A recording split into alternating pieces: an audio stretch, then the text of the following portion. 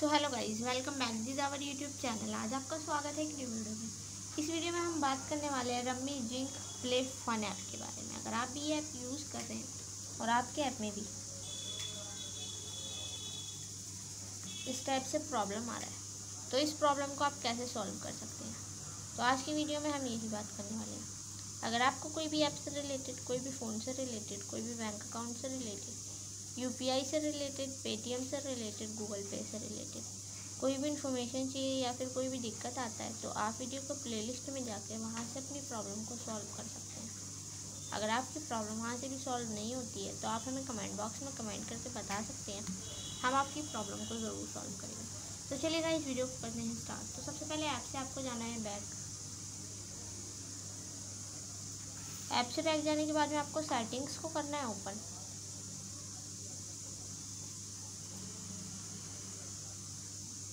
Settings को आप open करेंगे तो आपको इस टाइप से फेस देखने को मिलेगा। ऊपर की तरफ़ स्क्रॉल करना और ऐप मैनेजमेंट के ऑप्शन पर करना है क्लिक क्लिक करने के बाद में आपको इस टाइप से फेस देखने को मिलेगा।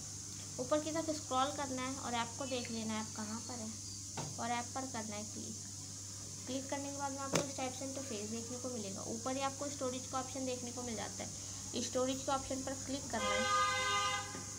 और यहाँ पे क्लियर डेटा के ऑप्शन पर क्लिक करके डेटा कर लेना है क्लियर। डेटा क्लियर करने के बाद में बैग जाना है। नीचे ही परमिशन के ऑप्शन पर क्लिक करके इनको देनी है परमिशन परमिशन देने के बाद में बैग जाना है। ऐप को करना है ओपन